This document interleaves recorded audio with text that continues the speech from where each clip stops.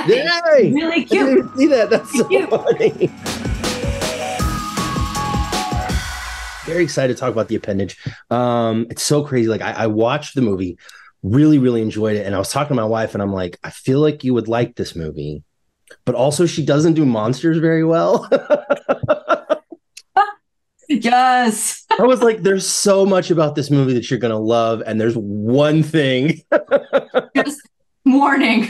one thing you're gonna be kind of iffy about. Um, but it is an incredible, it's an incredible movie, and it is a very, it's a very powerful story underneath all the like terror. And I wanted to ask you maybe about the origins of the story and kind of how it developed into this project for you. Absolutely. I I don't know how to write without coming from an emotional place, so it definitely came from a place of anxiety and depression and imposter syndrome and where I was at in my life at the time. And that was kind of a big inspiration. And, you know, I had a session in therapy where my therapist had this really great exercise where she was like, why don't you turn your anxiety into a character and, and have a chat? Let's have a chat.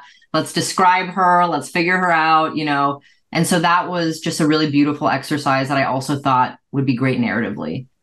I, as I was watching it, I, I was kind of thinking to myself, like, this is almost an exploration of a toxic relationship with yourself.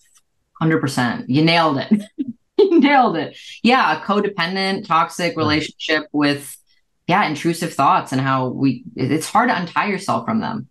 It, it, it very much is, and and I definitely found myself relating to a lot of kind of those themes and emotions of uh, you're not good enough, what you do isn't isn't important, you know, all that kind of Totally. creeps in it. And and I want to ask about creating that that creating the appendage, creating that second creature self. Start there. What was it like uh, uh seeing that happen seeing like actually like seeing that idea manifest in that sort of in those effects i mean because that's real that's a real that's not a cgi little creature that is a real thing She is real. Was another actor on set. I mean, it was really crazy. Um, and you know, the practical effects are so amazing because they are Mhm. real and visceral, and that was really important to this story because if it didn't feel real, it kind of like ruins the movie. It's like, you know, there's no stakes. It's like, oh, it's a movie and it's fake, and I can tell. And you know, we needed it to feel real. And so, you know, that was a really interesting kind of tonal balance to hit too, where I worked with Amber Marie, our, our creature designer.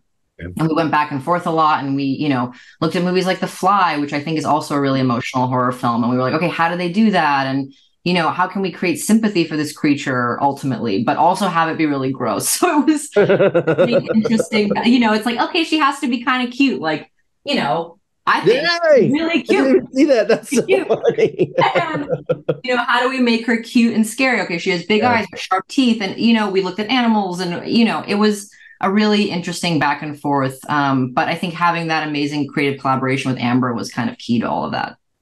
were there are, there any like like monster you talk about the fly but i'm curious if there are any like uh horror movie monster creatures kind of that have maybe that are near and dear to your heart like do you do you prefer gremlins do you like critters like what what are your kind of favorite little like creatures like that from horror Yeah, I love gremlins.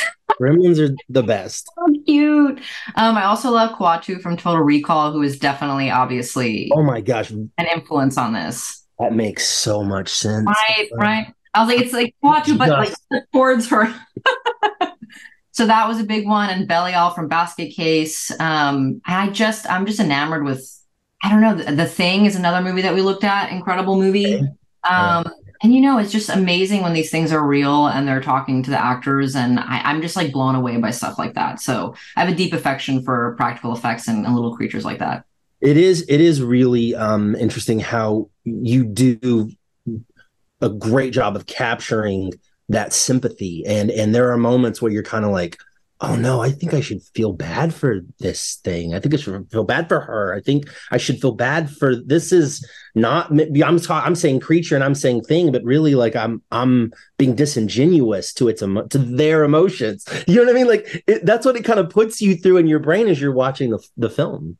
Yeah, and that was super intentional. You know, I think it was definitely the goal to be like, okay, like I understand why Hannah is disgusted by this and doesn't want anyone to see it, but at the same time, it's me. like, how do you know? How do we, you know? So it was really important because you know ultimately the message of the movie is we need to love ourselves and take care of ourselves and not banish the bad sides of ourselves. Be like, okay, we got to learn how to be friends with this side of ourselves. So it was that sympathy was super important in landing that.